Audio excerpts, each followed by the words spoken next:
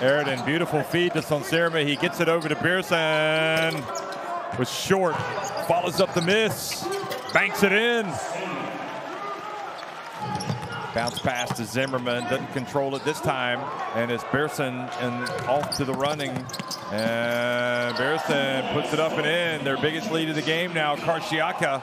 Execution at that end. And then what they've done really well at point of transition. Metecan Birsen looking for space, hands it off.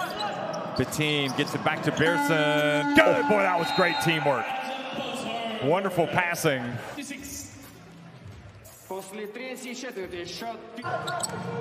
Beteam, pump fake.